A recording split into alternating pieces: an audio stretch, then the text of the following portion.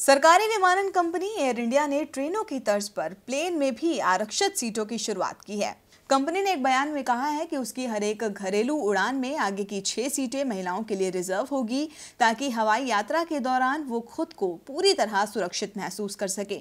यह शायद दुनिया की पहली ऐसी पहल है, जब किसी विमानन कंपनी ने महिलाओं के लिए सीट रिज़र्व रखने का प्रावधान किया हो। 18 जनवरी से एयर इंडिया ये रिजर्वेशन लागू करने जा रहा है। एयर इंडिया में रेवेन्यू मैनेजमेंट की जनरल मैनेजर मीनाक्षी मलिक ने एक इंटरव्यू में बताया कि हवाई यात्रा के दौरान कई बार महिलाओं के साथ दुर्व्यवहार के मामले सामने आते रहते हैं।